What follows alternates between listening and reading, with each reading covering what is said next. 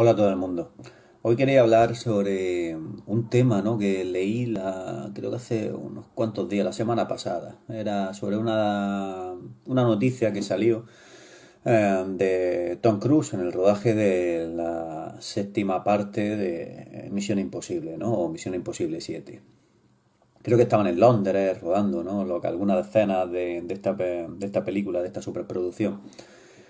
Y por lo visto lo que sacaron los medios de comunicación fue pues una bronca descomunal que pilló lo que es Tom Cruise eh, regañando lo que es el equipo técnico ¿no? y lo que es al equipo de producción, a los, trabajadores y trabajadoras que trabajan en, eh, en dicha superproducción, ¿no? en esa Misión Imposible 7 por no respetar lo que son las normas del COVID, ¿no? Las normas de anti-COVID y todo esto de las distancias de seguridad o mascarilla. Creo que en concreto fue la, le echaba la bronca porque no respetaba la distancia de seguridad de, unos con otros, ¿no? De un metro y medio, dos metros, ¿vale? Y eh, entró en cólera, ¿no? Se ve que lo grabaron o lo que sea, y ha llegado pues, a todos los medios de comunicación, ¿no? Algunos lo han puesto lo que es, pues, lo han pelado, lo han puesto verde, ¿no? A Tom Cruise diciéndole que, pues, que eso, que, que, con palabras malsonantes, como lo que es insulto, etcétera, porque insulta, es verdad, y demás, y el cabrío con unas formas, malas formas que tiene a la hora de regañarle. Y ahí puede ser que tenga un poco de razón, ¿no? En cuanto a la forma, ¿no? Pero no en el fondo. En el fondo, todo lo que dice Tom Cruise, a mi criterio, ¿no? A mi, en mi opinión, pues considero que, que, que, lleva toda la razón del mundo, ¿no? Ya que se puede ver y escuchar, ¿no? Yo leí la transcripción, ¿no? Traducida al castellano. Y luego escuché también una, en un vídeo de esto, pues lo que es la, la grabación del audio, ¿no? De cuando le echa la bronca. Y se ve que la se le echa la bronca por dos veces, ¿no? O en el mismo día o en, un día, o en días consecutivos. y echa la bronca por dos veces, ¿no? A diferentes trabajadores, ¿no? De esta producción y les dice que eso, que, que están lo que es jugándose ellos la vida, todos allí, evidentemente con el COVID, pero trabajando, moviendo la industria de Hollywood, que se pelea todas las noches con al teléfono con todos los estudios y que está luchando y batallando contra los estudios para que le dejen hacer películas y volver a rodar películas y que se pongan de nuevo lo que es el motor de Hollywood, ¿no? Y se engrase lo que es el motor de Hollywood y empiece lo que es a, a producir pues, films, ¿no? Que, que, da de comer eso a muchas familias, que da de comer tanto la gente que trabaja en la producción como indirectamente, ¿no? A, otro, a otras familias y que él da la cara por, por su producción, que a la vez ejerce de productor en esta película, ya sabemos que Tom Cruise produce muchas de sus películas, y que da la cara por todo el mundo, no solamente por él mismo, sino por todo el mundo, para mm, seguir trabajando, ganar dinero, que la gente pueda vivir, que no pierdan sus casas, que por la hipoteca, la rehipoteca, la situación económica que tiene la gente, ¿no? Y que puedan pues, seguir adelante, ¿no? Y entonces por personas, por incompetentes en este caso, ¿no? Eh, que ya es que no es que no estén haciendo bien su trabajo, ¿no? sino que encima están poniendo lo que es en peligro la salud pública. ¿no? En ese caso, pues están poniendo en peligro lo que es la gente que está en el rodaje, las zonas donde están rodando, ruedan, sabes que Misión Imposible pasa como con las películas James Bond, ¿no? se ruedan en diferentes países ¿no? a lo largo de, de todo el mundo. Y eh, eso, le echó la bronca, los llamó, hijos de puta, creo recordar, por estos cabrones, no sé qué, que dice que si eh, lo volvía a ver incumpliendo una de las solas normas del COVID, que lo echaba a la puta calle, lo echaba pero directamente, ¿no? Que no va a poner en peligro lo que es, la producción, ¿no? Que cancele lo que es la, la mayor o lo que es la el, gran estudio que le cancelen la producción por unos, lo que son unos desalmados pues porque no respetan las medidas, ¿no? Y por lo visto, pues esta gente se lo tomaba un poco a broma o a cachondeo. Y cuando en eso, Tom Cruise es una persona muy, muy seria y muy profesional, ¿no? Se le puede tachar de muchísimas cosas a Tom Cruise.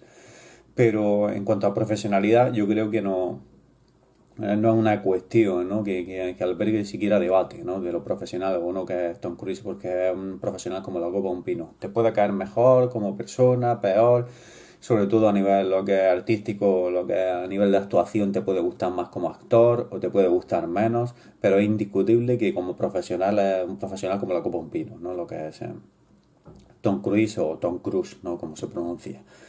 Eh, y eh, quería un poco, pues eso, hablar sobre este, este tema, reflexionar un poco sobre mm, la cantidad de gente que hay, ¿no? Que, que, que, incumple estas normas, ¿no? De salud pública con el tema del coronavirus.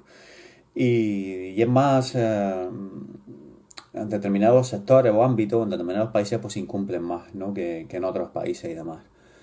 Yo, por mi profesión, pues soy uno de los principales grupos de riesgo, ¿no? Para el tema del coronavirus y todo esto, ¿no? Para contraerlo, para contagiarte este coronavirus, ¿no? Pues eh, por mi trabajo, por mi profesión, pues soy uno de los principales grupos de riesgo. Y en eso siempre soy yo lo que es muy, muy precavido, ¿no? Yo intento que la, que la gente que, que trabaja a mi alrededor también, porque y, y el personal que allí hay, y las personas que allí están y demás, pues que también tengan lo que son pues los medios de protección para el coronavirus de obligado cumplimiento, ¿no? Que es que lo dice la normativa, lo dice la ley. Sé que no estamos hablando de otra cosa. Una ley te puede gustar más, menos, regular, puedes creer, puedes ser negacionista, que yo no sé cómo existen las personas negacionistas con el coronavirus, la verdad, pero bueno. Em, yo siempre tengo la máxima esa, ¿no? Que digo que eh, nunca hay que subestimar lo que es la estupidez humana, ¿no? Porque cuando hayas visto ya lo, más ridículo y lo más estúpido en tu vida, ¿no? Aún así se puede superar, te lo puedes encontrar en otra persona, ¿vale? No, no sé cómo puede haber negacionistas, ¿no? Y y referente a eso, pues que hay que cumplir ¿no? con las normas, lo que es la distancia de seguridad, el, el uso de mascarilla obligatorio, evidentemente, lavarte mucho las manos, ¿no? Y lavárselas de forma correcta, el gel hidroalcohólico y, y todo eso. No, no tocar objetos comunes de una persona a otra y, y tener buena ventilación, lo que es en, los lugares de trabajo, ¿no? Y todo esto, y, que recircule el aire, etcétera, etcétera, ¿no? Ya conocemos todos sobradamente lo que son estas normas.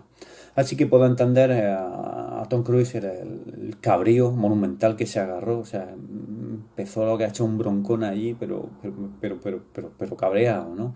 Evidentemente, decía que los echaba a la puta calle, que la próxima vez que pasase eso, a la puta calle se veían, que no iba a consentir que muchas familias perdiesen su trabajo, su su medio de vida, su casa, la hipoteca, etcétera, y todo esto porque por, culpa de unos negligentes, ¿no? Como en este caso, ¿vale? Aún así, pues le han llovido muchas críticas y demás a Tom Cruise, como siempre, ¿no? Ella siempre está en la palestra puesto Tom Cruise como personaje, ya no solamente como actor, pero sí, ya se ha convertido más en un personaje, no en un famoso de esto, del cual, pues, por estar metido en la cienciología, en la religión que profesa, o lo que le dé la gana y demás, pues lo ponen a parir y por su comportamiento y todo esto, ¿no? Y su creencia o todo. A lo cual también me lleva a otra reflexión. Mm, mucha gente eh, le cae mejor o peor un actor, un músico, en definitiva un artista o lo que sea, o una persona relevante, eh, según su vida personal, ¿no? O según sus criterios personales, sus opiniones, su, sus comentarios, las frases que puede llegar a decir, ¿no? lo que puede llegar a expresar, ¿no? Eh, en el ámbito privado, ¿no? En su vida personal. Cosa que no, no entiendo yo muy bien, porque yo desde siempre he diferenciado lo que es eh, la parte personal de una persona, valga la redundancia, ¿no? Me ha sonado de, de pena, pero bueno, eh, de lo que es su faceta, lo que es profesional, eh, artística, ¿no? laboral eh, o, cualquier otro tipo de... de... Un momento que me está sonando ahora el móvil y me suena los, los Van Halen. Tengo de melodía lo que es I'm Talking About Love, evidentemente una de las canciones que más me gusta de Van Halen. Bueno, lo que estábamos comentando, ¿no? Eh, hay que separar lo que es de su vida profesional de su vida, lo que es personal. Y eso siempre lo he tenido muy claro. En todos los ámbitos, las personas o artistas, en este caso, que han mirado en su, por su faceta lo que es como músicos, como cantantes, como actores, directores, ¿no? guionistas, lo que fuese, ¿no? artistas, ¿no? Eh, pues siempre hay que lo que es racionalizar un poco y separar eso, ¿no? Puede ser que te guste lo que hace una persona profesionalmente, en este caso lo que es eh, pintando cuadros, esculturas, haciendo películas, actuando en películas, componiendo música, cantando, tocando la guitarra, etcétera.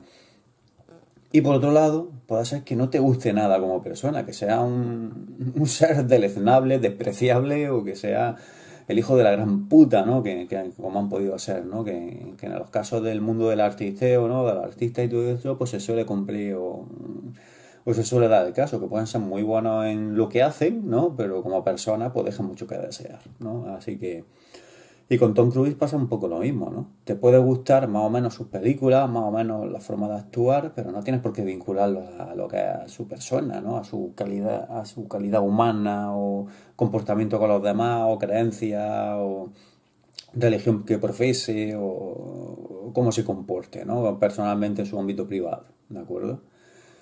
¿Vale? Y lo digo esto porque, por ejemplo, en este caso, ¿no? Que estamos hablando de Tom Cruise, pues sí, todo el mundo sabe que está metido en cienciología, que si dicen que es gay o no es gay, o que no sale del armario, que si se comió la placenta de, de cuando dio a luz lo que es su hijo en la gestación, ¿no? La placenta de, de la madre y todo esto, de la que Tijuana su hija, ¿no? La, y la, Siri esta, o la Suri, como se llame, que tiene, y demás, y diversas y diversas, ¿no?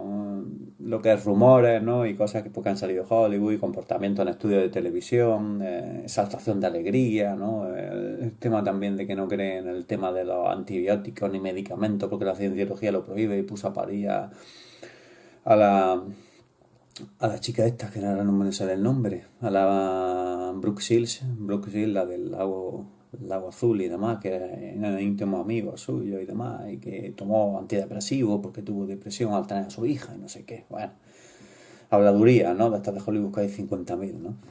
Y eso pues está por un lado, pero luego como profesional, pues muy buen profesional y luego como actor pues te puede gustar más o menos, ¿no? A mí personalmente lo que es como actor me gusta bastante Tom Cruise y creo que tiene lo que es el San Benito este de los actores guapos que no están reconocidos luego o bien reconocidos como buenos actores, ¿no? Como el caso de un Brad Pitt, un Tom Cruise, ¿no? Y, y algunos que otros más, quizás Johnny Depp y, y todo esto en su época buena, evidentemente Johnny Depp y como le pasó en su día a Paul Newman, ¿no? que no le reconocían sus dotes de actuación, salvando la distancia, ¿no? porque es mucho mejor actor Paul Newman, pero, pero que es eso, ¿no? que, que, han tenido el San Benito de ser muy guapos, ¿no? de forrar las carpetas de las adolescentes cuando van al colegio de instituto, y entonces, y había aparecido muchas revistas de estas de adolescentes, y entonces, pues no, por lo guapos que son, pues no, no se le estima lo que es su faceta, lo que es interpretativa, ¿no? Muchas veces, este tipo de actores. Pero yo creo que Tom Cruise es un gran actor. A mí me gusta personalmente mucho. En lo que hace, lo que mejor se le da, que es el género de acción, lo hace fenomenalmente bien. O sea, lo hace eso. No se puede, lo que es dudar, es decir, que, que en Misión Imposible el personaje de Van Hunt no lo hace bien, ¿no? Lo da todo. A la hora de trabajar muy profesional, hace las escenas de riesgo, intenta hacer la gran mayoría de las escenas de riesgo. Se juega el tipo en todas sus películas, pilotando aviones, subiéndose paracaídas, saltos libres, todo esto ya, ya lo conocemos, ¿no? Saltos imposibles.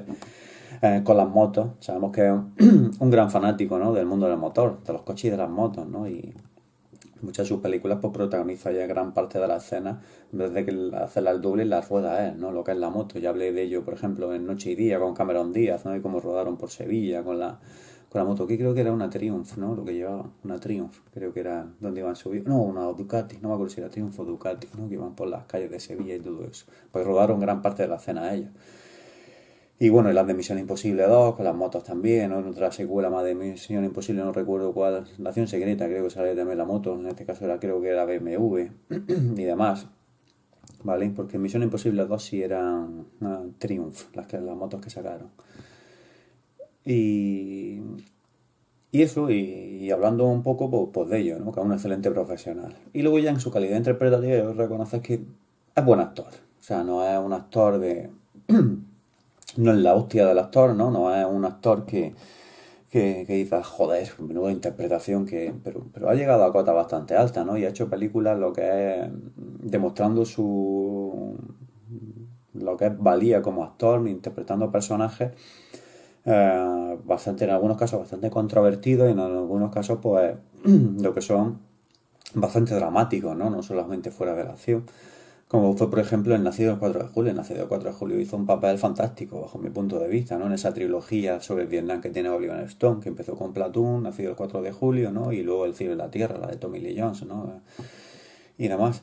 Y ahí hizo un excelente trabajo. Pero es que luego en, por ejemplo, interpretando al vampiro Lestat, nadie daba un duro por él, en una de las mejores películas de vampiros de la historia, ¿no? Que es Entrevista con el vampiro. Y ahí Lestat lo hizo genial, el con el pelo rubio teñido y demás, lo hizo muy bien, estuvieron a la altura muy bien tanto él como Brad Pitt. Es más, eh, Tom Cruise lo hizo mejor que Brad Pitt, ahí, que Brad Pitt es también un gran actor, ¿no? Pero ahí estuvo muy, muy elevada a la, lo que es a la exigencia del papel, eh, pues estuvo a la altura, ¿no? tuvo lo que es eh, una interpretación bastante, bastante buena, ¿no? unas cotas muy altas, ¿no? A nivel interpretativo. Y tiene bastantes películas que lo hace bastante bien el tío. O sea, Valkyria no lo hizo mal. Cuando hizo Valkyria, esa del oficial que quiere sabotear a Hitler y matar a Hitler, ¿no? Y demás en la Segunda Guerra Mundial, ¿no? Que era alemán y todo esto. Luego tiene películas también de comedia, cuando se ríe sobre todo de sí mismo. Un tío que tiene un sentido de humor bastante... Te puede gustar más o menos, pero por lo menos es saltado, ¿no? Y se ríe de, de, de sí mismo, ¿no? Eh, como cuando interpretó en Tropic Thunder, ¿no? Al productor este de la película, ¿no? Este con, con barba, calvo, gordo, bailando y demás, y siendo un déspota peludo con pelos por todos lados, todo eso que lo, que lo ha hecho varias veces más, en una entrega de los premios de la MTV o de alguna um, entrega de premios de televisiva, ¿no? También volvió a coger el personaje y se marcó otro baile.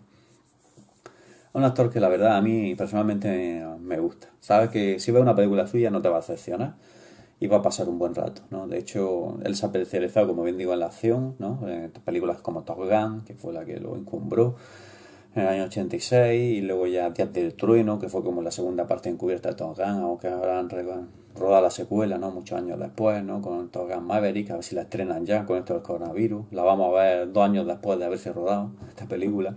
Va a pasar un poco igual que a Time to Kill, ¿no? otro día para a Time to Die, ¿no?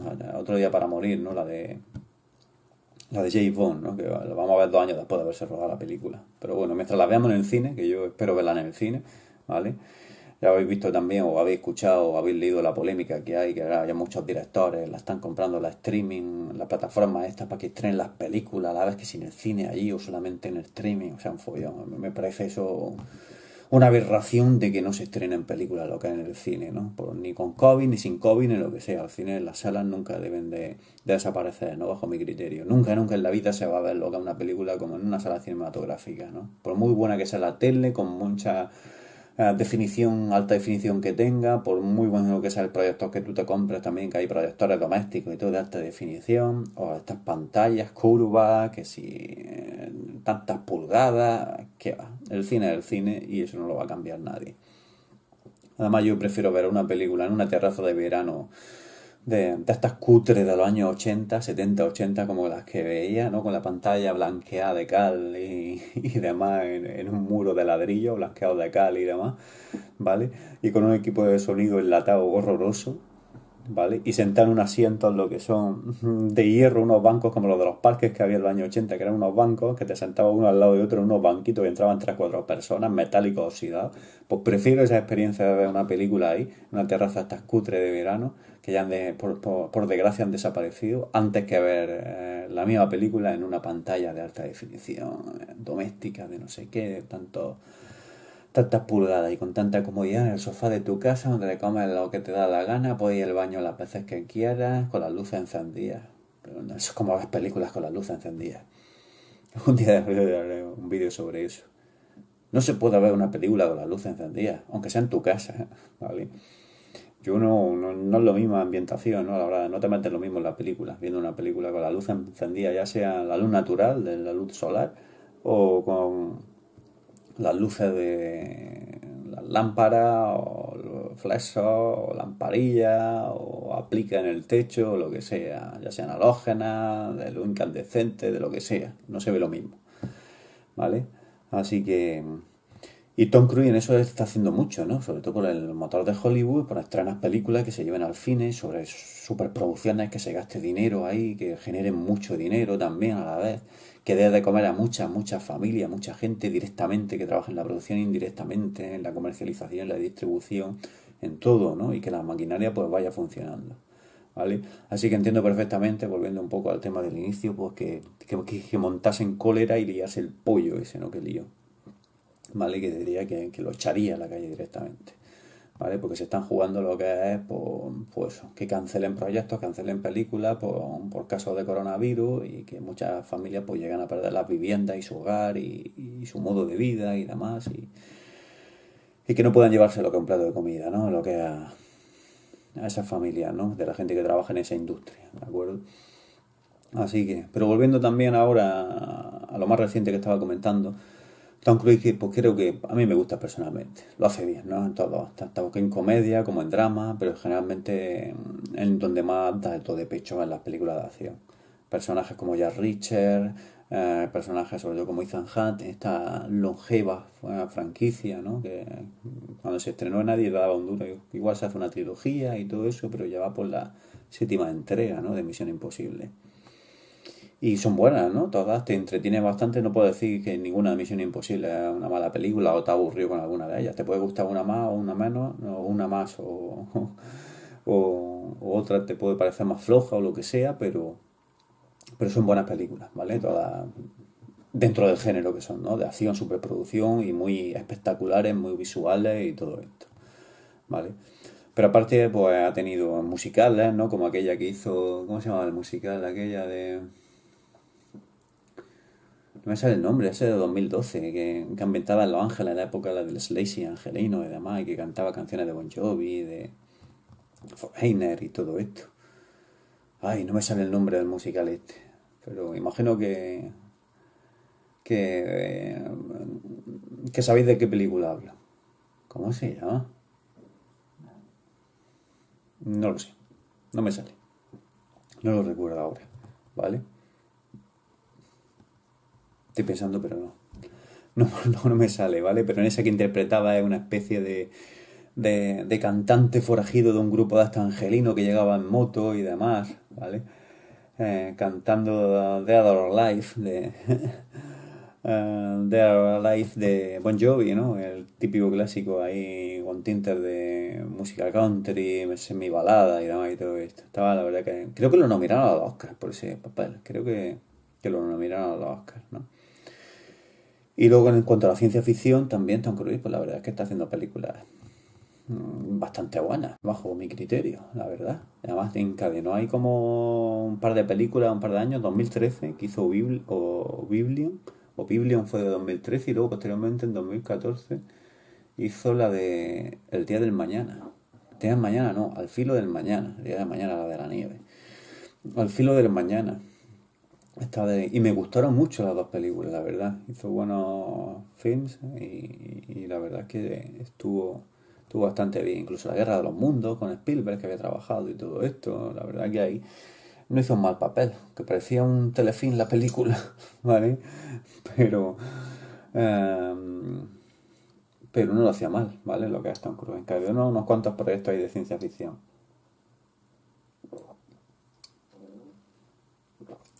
Es un género que debería volver, la verdad, eh, Tom Cruise, a la, ciencia ficción. También se le da bien. Y eso por un lado, ¿no? No obstante, vuelvo a recuperar un poco a hablar de eso, de que siempre hay que separar lo que es la persona, de la, su faceta artística, profesional, laboral y todo esto, ¿vale?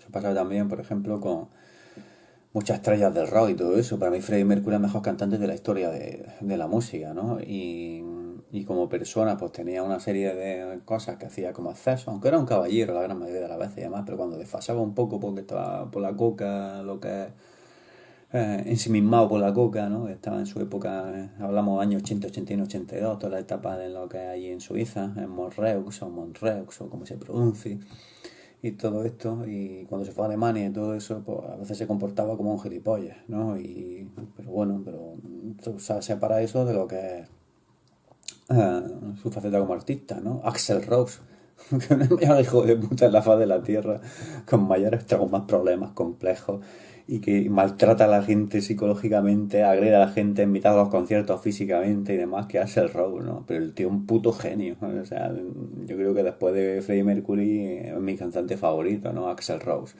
Así, ¿no? Y tanto y tanto y tanto otros como ha habido y habrá, ¿no? para irnos lo que es el tema de arte, ¿no? El, este tema del arte y los grandes genios de esta Miguel Ángel, ¿no? Miguel Ángel Buonorotti, ¿no? Este, el, Miguel Ángel de la Capilla Sistina, ¿vale? Arquitecto, escultor, pintor, un puto genio del Renacimiento el tío. Y el tío era borracho, asesino, pendenciero, juerguista, ¿vale? Pues hay que separar una faceta de la otra, ¿no? O sea que... Pero eso la gente no suele hacerlo. La gente dice, no, es que está muy malo, se ha comportado aquí, mal, esto que ha hecho. Que fíjate qué declaraciones ha tenido y demás. Y eso que tiene que ver para que te guste la película o no. O la canción o no. ¿Vale? Así que eso es que solemos vincular mucho lo que es la persona a su forma de lo que es su vida tanto personal como profesional y laboral, ¿no? A la forma de hacer las cosas en el trabajo, como la forma de comportarse lo que es personalmente en los ámbitos familiares, socializando con los amigos, con familia, con todo esto, ¿no? Con el resto del mundo. Pues no, no tiene por qué ser así. Puede ser una persona que sea un auténtico cabrón y luego puede ser eh, un excelente artista, ¿no? Le pasaba a John Lennon. Yo no era un cabronazo, lo que nadie, nadie lo entiende, es un tío. Algunos, yo no, digo que sean, pero algunos incluso han hablado y lo han acusado de, hasta pederastia, ¿no? Lo que es John Lennon. Pero el tío era un déspota, honesto y demás. Pero claro, luego se le asoció la imagen Paz y Amor y los Beatles y el tío un puto genio, porque John Lennon era un puto genio, ¿vale? A mí como persona no me queda nada bien, pero como eh, compositor, cantante, guitarrista y demás, pues, tanto en la etapa de los Beatles como posteriormente, pues sí, a mí me agrada, ¿no? Así que... Pero bueno, esto es algo que llevamos intrínseco, ¿no? Que a la hora de, manifestar nuestras opiniones sobre algo, siempre asociamos lo que es la vida laboral con la profesional, perdón, la vida laboral con la, con la, con la personal o la vida privada, y así ya te formamos lo que es una idea ¿no? de, cómo es. Eso que pasa, se me viene a la cabeza. Ah, se me viene, ya sé por qué se me viene a la cabeza. Mel Gibson, ¿no? Mel Gibson es un actor que a mí me encanta, personalmente. Ese tío, como director, es buenísimo, nadie puede discutir eso, ¿no? Le, dieron un Oscar por, por Braveheart en el año 1995, totalmente dirigido, es merecido, ¿no? Y dirigió la película, y además la película también se llevó el Oscar a la mejor película, ¿vale? Y no quisieron nominarlo al mejor actor, que podría haberlo nominado, incluso haberlo ganado, ¿vale? Porque según decían a los mentideros de Hollywood y todo esto, pues que eh, no querían que se creyese el nuevo Clint Eastwood, ¿no? De los años 90, ya que ahí solamente es Clint Eastwood, ¿no? Y como dirige, interpreta películas y demás de diversos géneros, produce y todo esto, pues no querían que Mel Gibson se creyese el nuevo Clint Eastwood, por eso no lo nominaron más veces ni más ni a más Oscars. Y a mí Mel Gibson me encanta. Ahora Mel Gibson tiene una, una de problemas a su espalda, ¿vale? Que lo hemos visto desde los años 80, desde que ya era famoso. Porque siempre Mel Gibson siempre ha sido alcohólico, desde que era un chaval, un niño ahí en Australia, ¿no? Joven. De hecho, cuando fue a la audición de, de, Mad Max para Salvajes de la Carretera en 1979, de hecho no fue la audición. Él iba de chofer, acompañaba a un compañero que iba a hacer la audición, ¿vale? Y él conducía. Pero cuando lo vio George Miller, el director, al que iba a hacer la audición y vio al amigo, el amigo era Mel Gibson, dice, no, no, este que, que haga la audición a él también. Porque lo iba al estudio conduciendo, llevando al compañero, acercándolo en su coche, y apareció Mel Gibson con la cara llena de moratones, ensangrentada, ensangrentada de una bronca que había tenido en el bar minutos antes o, o, en la tarde anterior, vete a saber, de una bronca que había montado en un bar, ¿no? Y cuando lo vio dijo, este es el personaje, este es el loco Max, ¿no? Este es Mad Max, Mad Rokatansky, ¿no? Y entonces se quedó así. Pero lo han acusado de ser eh, machista, ¿vale? Que, puede que lo haya sido, y yo creo que sí. Yo creo que siempre se le va todo por, por la boca cuando va bebido, el problema que tiene con la bebida. De ultracatólico, de racista, antisemita, ¿vale? Y, y tantas y tantas otras cosas, ¿no? Que, que, lo han acusado homofóbico, ¿no? Y yo creo que Mel Gibson en realidad no, no, no es así. Bueno, pero aunque fuese realmente así, ¿vale? Que lo han detenido varias veces la policía por insultarle a un agente de policía, que si los judíos esto, los judíos lo otro, que si no sé qué, ¿vale? Y siempre alcoholizado, ¿no? Conduciendo ebrio, borracho y todo esto, ¿vale? Pero yo creo que eso es síntoma del alcohol, que lo mismo es, porque es tan deleznable es que lo, como que lo hagas, lo que es tanto si has bebido como si no has bebido, si eres drogadicto como si no eres drogadicto, el caso que lo has dicho, lo has hecho y demás.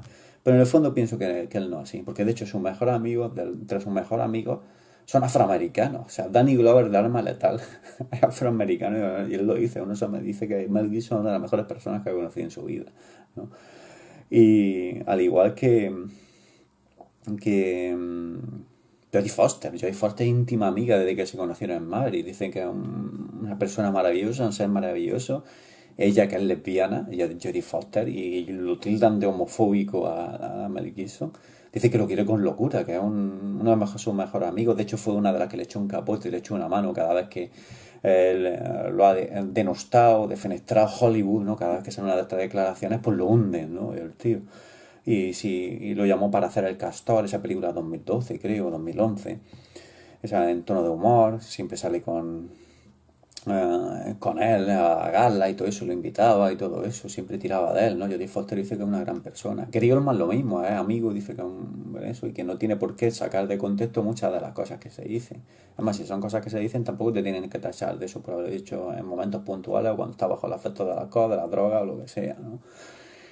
Y, así hay una gran cantidad ¿no? de, gente en Hollywood que dicen que Mel Gibson, pues sí, pues tiene el problema con la bebida, pero que, tiene eso. Y, yo no creo que sea racista, por ejemplo, porque Danny Glover, que es su mejor amigo y demás. De hecho, se me ha venido a la memoria Mel Gibson porque hace poco he visto una película estas por streaming, ¿no? De, una plataforma de streaming que es sobre la Navidad, que se llama ah, Matar a Santa, que es el título que le han puesto aquí en castellano. El título original no sé ni cuál es, ¿vale? Que una visión bastante rara, retorcida y simpática a la vez de, Santa Claus, ¿no? De dónde vive y todo eso. Y han cogido a Mel Gibson, ahora que está ya sesenta y tantos años, Mel Gibson tiene que tener 65, 66 años por ahí. Con esas barbas que lleva, eh, un barrigón, ¿no? Porque mm, creo que se llama Fatman o algo así la película, el título original, ¿no? El gordo, el hombre gordo, ¿no? El este. E interpreta a Santa Claus, ¿no? A Papá Noel que vive lo que es eh, en Alaska, creo, que creo que era en Alaska donde iban. Eh, y, entonces cómo trabaja y cómo eso tiene a su elfos trabajando todo el año, pero es una especie de Santa Claus un poco em, autoparódico y, buscando lo que son los personajes que le ha interpretado en todas sus películas de acción, ¿no? Es un tío que, lleva armas, que lleva esto, que está palizado, parecía Mel Gibson lo que es en el Mel Gibson joven de de Arma Letal 3, ¿no? Enseñando todas las cicatrices. Yo creo que eso fue un guiño a Arma Letal 3 cuando se los tiros, las rajas, los, las heridas con cicatrices, cosillas y todo eso, ¿no? De, que más de uno lo confunde con un ladrón cuando va a dejar los regalos y todo eso y saca un arma o lo que un cuchillo o lo que sea, ¿no? Y que dice que el mundo puede evolucionar, ya los niños son más malvados, que no agradecen nada de la Navidad y él tiene problemas lo que es para llevar lo que es su su cometido, que es fabricar juguetes para los niños y repartirlos todas las Nochebuenas, ¿no? En Navidad. Y, tiene que firmar un contrato con el gobierno para construir armas para unos aviones inteligentes, unos radares, unos no sé qué. Está, la película está bastante graciosa, ¿vale? Porque es rara a la vez, pero está, está bastante bien. Y tiene mucha violencia para lo que es una película navideña, con mucha sangre a borbotones, escenas incluso gore y demás. Eh, está haciendo proyectos, lo tiene de denostado Hollywood, pero de vez en cuando cuando lo llaman a hacer algunos proyectos bastante interesantes en los últimos 8 o 10 años, ¿no? Desde 2010 para acá, que lo denostó Hollywood, pues está haciendo lo que son eh, proyectos interesantes, ¿eh? películas menores de poco presupuesto y todo eso, como un poco ha pasado como Arnold Schwarzenegger, ¿no? Cuando ha vuelto, películas menores de menor presupuesto, pero pueden encontrar alguna cosa interesante en ella. Y, y Mel Gibson, pues la verdad es que tiene cosas bastante interesantes, ¿no? En ese sentido.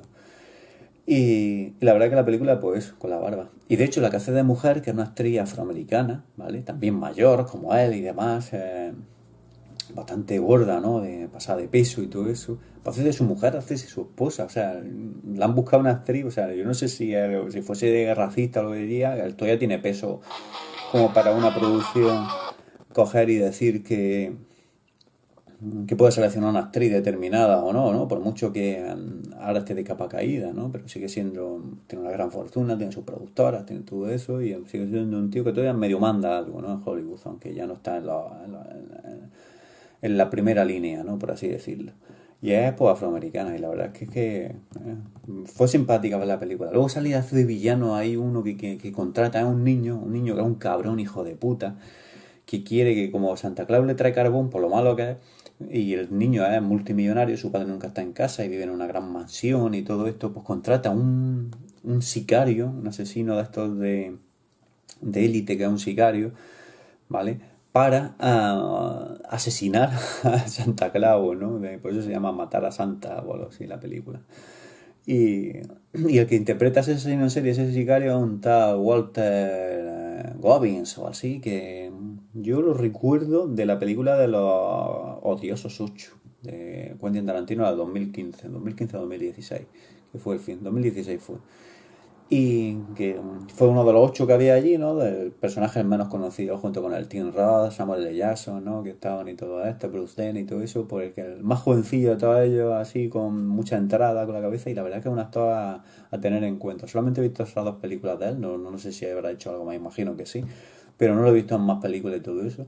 Y la verdad que lo hace aquí también bastante bien, un tío muy raro y todo eso. Con un tiroteo que se lía de la hostia al final en la finca de Santa Claus, donde están todos los elfos ahí trabajando con bombas, con ametralladoras M16, todo esto. Espectacular la película, ¿vale?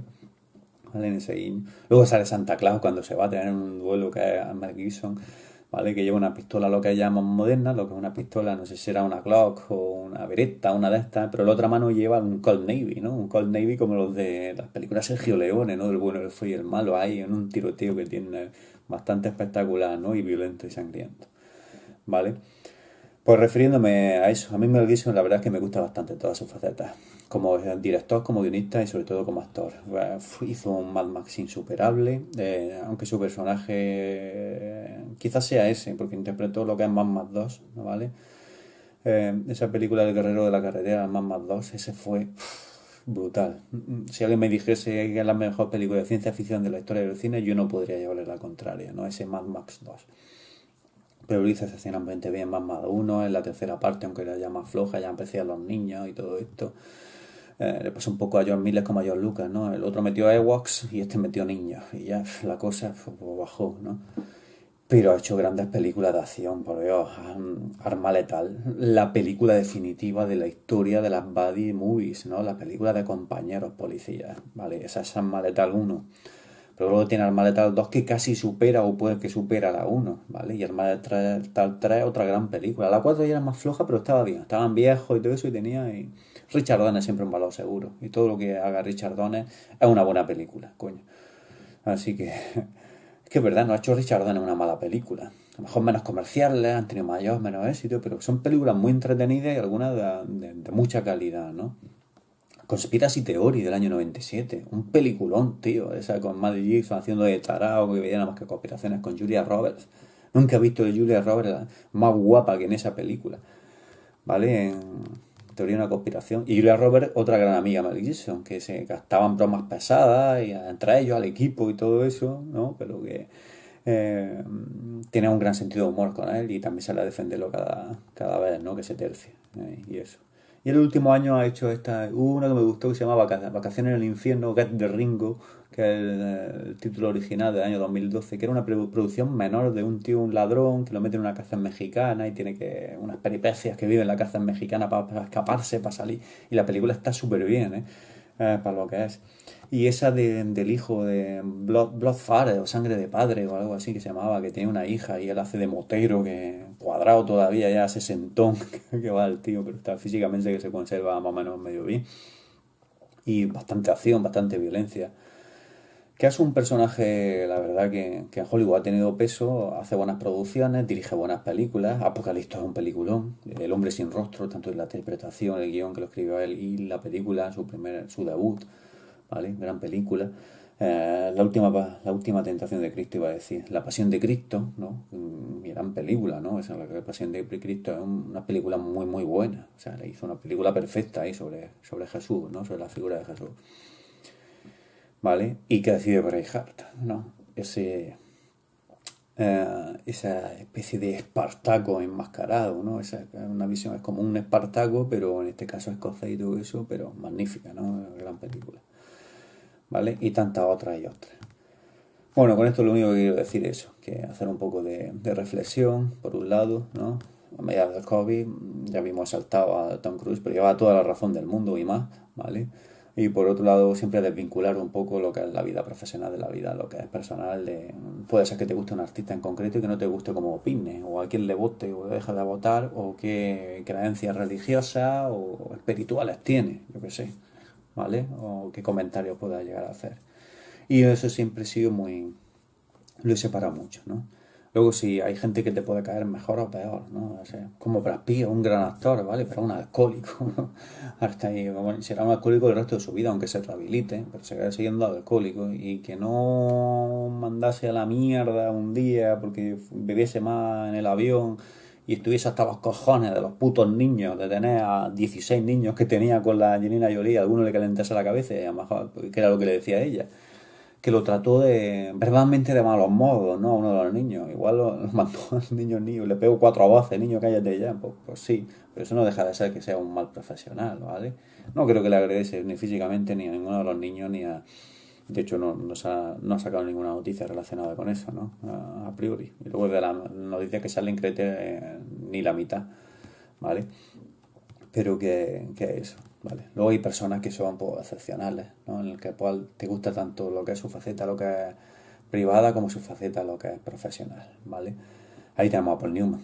Paul Newman era la excelencia en todo. Era un grandísimo actor, porque lo era y luego como padre de familia, como marido, como mm, amigo de sus amigos, ¿vale? Como benefactor, participación eh, en lo que es en entidades sin lucro para el tema, lo que es de ayudas sociales, de esto, de lo otro, lo que es en fundaciones, en todo. Tío, era un ¿no? Era bueno en todos los sentidos, tanto personalmente como apacible, amable, educado, todo, ¿vale? No puedo decir lo mismo del que considero mi actor favorito de toda la historia, que es Steve McQueen. Quizás fuese más estrella que actor, como dicen muchos, pero en este caso, ¿vale? Bueno, como iba hablando, es que tengo que coger el teléfono, interrumpir la grabación, y como no tengo tampoco mucho tiempo para editarlo y todo eso, por eso veréis algunos cortes en algunos vídeos de forma muy brusca y austera, ¿no? Con respecto a eso de que estaba hablando de las personas, ¿no? En el caso de Steve McQueen, ¿no? Que a mí es tu favorito. Ah, pues personalmente el tío era un cabrón, hijo de puta, una de las peores personas que te podía echar a la cara, ¿no? Lo decía. De hecho, llegó a martillarle lo que una pistola en la cabeza, lo que es a Alice McGraw, ¿no? La que era por entonces su novia. Decía que vivía obsesionado, con miedo, con todo esto. El tío también te embebía mucho, ah, peleaba con todo el mundo, un peleante, ¿vale? Decían que era una persona poco grata, ¿no? Pero que profesionalmente pues, me encantan sus películas, me encanta el carisma que tiene, aunque haya sido más estrella que actor, pero yo, lo considero que tiene una gran dotes de actor y a mí personalmente esa figura me gusta mucho lo que es Steve McQueen, el mundo relacionado con el mundo del motor, todo eso, ¿no? Las motocicletas, los coches, todo, competir en carreras y todo. Y luego las producciones en las que participó, ¿no? Las que protagonizó eh, pues magníficos films, eh, todos, o casi todos, ¿no? Por no decir todos, ¿vale? Y la verdad que poco más, ¿no? Que añadir a, esta reflexión, ¿vale? Simplemente quería compartirla un poco con vosotros y eso, y, ya está, ¿vale? Si queréis comentar cualquier cosa, pues me lo dejáis abajo en la caja de comentarios. Y nos vamos viendo en futuros vídeos. Espero que haya gustado y nos veremos en el siguiente, ¿vale? Quiero hacer algún vídeo Quería hacer uno de especiales de películas navideñas, pero no sé si lo haré o no. Con la Navidad a mí realmente no me gusta mucho la Navidad, pero sí me gustan las películas navideñas, ¿de acuerdo? Ahí tengo lo que es una, un pequeño repertorio de cuáles considero las que son las mejores películas navideñas que yo he visto, ¿no? Las que más me gustan a mí. Que hay infinidad, ¿no? Pesadilla antes de Navidad, que la de animación, la de Harry Selick, ¿no? Y todo esto con, con Tim Burton la producción. Eh, y también mi favorita, Scrooge, ¿no? que se titula aquí como los fantasmas atacan al jefe, que yo creo que es la mejor de todas. Bill Murray uno de esos personajes más histriónicos. Quizá para mi gusto el mejor de todos, incluso por encima de Atrapado en el Tiempo. Y, y tantas otras. Maletas 1, una película totalmente navideña, que es de acción violenta, con toques de comedia, todo lo que tú quieras, pero es una película, no deja de ser una película de navideña y todo eso. Ya no me lo pensaré si lo hago, ¿vale? Bien, nos vemos y en el próximo vídeo y ya está. Si no meto ningún vídeo nuevo en los próximos días, porque pasáis felices fiestas, ¿no? A quien le guste mucho todo esto de la Navidad y siempre con precaución por el tema del COVID. Esperamos que la del año que viene pues sean mejores, ¿no? Venga, saludos, hasta luego.